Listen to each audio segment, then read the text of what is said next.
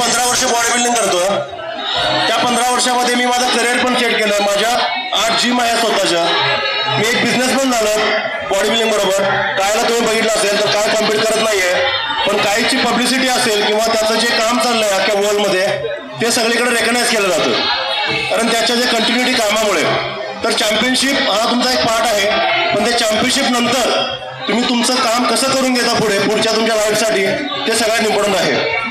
अगर आपको आप चैंपियनशिप जीते हो congratulation to all of you but आपको ये चैंपियनशिप आपको लाइफ के लिए आगे कैरी फॉरवर्ड करना चाहिए, क्योंकि अगर आप ये चैंपियन एक ट्रॉफी लेके बैठ जाओगे तो आपके पास कोई आने वाला है नहीं.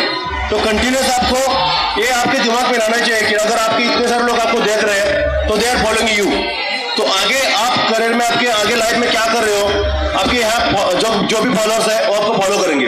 तो आपको उतना अलर्ट रहना चाहिए कि आप क्या कर रहे हो.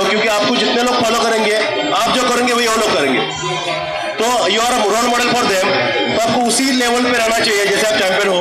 आज कॉम्पिटिशन हो गया, ऐसा नहीं कि आज you can enjoy the things but कल से आपका रूटीन फिर से चालू हो जाएगा। Then think for at future think for a life and wish all the best all of you thank you thank you so much thank you so much thank you very much.